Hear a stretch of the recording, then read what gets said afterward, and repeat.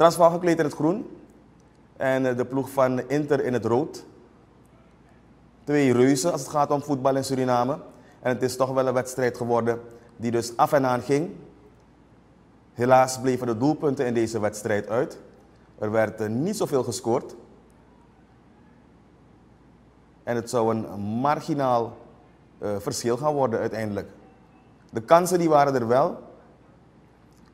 En zowel Obrendo Huiswoud als zijn collega uh, Vicinho Feller, die hadden dus hun handen vol. De twee doelmannen van beide teams, die hebben zo nu en dan moeten ingrijpen om hun team te behoeden van een uh, tegendoelpunt. Penalty voor de ploeg van uh, Inter Mongotapu. En de goalie Veller, die stopt dus deze inzet. Doelman van Transvaal.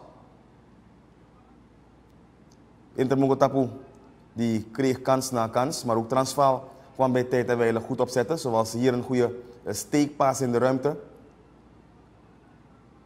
3 tegen 2 situatie op een gegeven moment.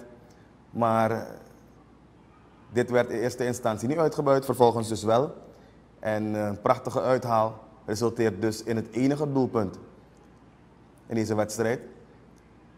Knap ingeschoten.